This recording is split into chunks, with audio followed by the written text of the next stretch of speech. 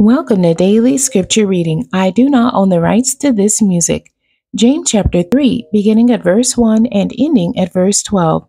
This is the King James Version. My brethren, be not many masters, knowing that we shall receive the greater condemnation. For in many things we offend all.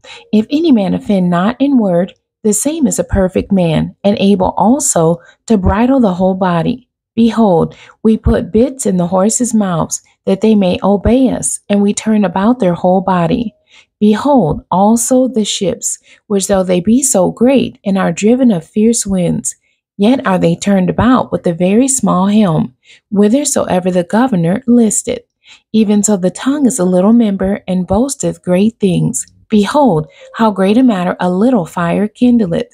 And the tongue is a fire, a world of iniquity. So is the tongue among our members, that it defileth the whole body, and setteth on fire the course of nature, and it is set on fire of hell. For every kind of beast, and of birds, and of serpents, and of things in the sea, is tamed, and have been tamed of mankind.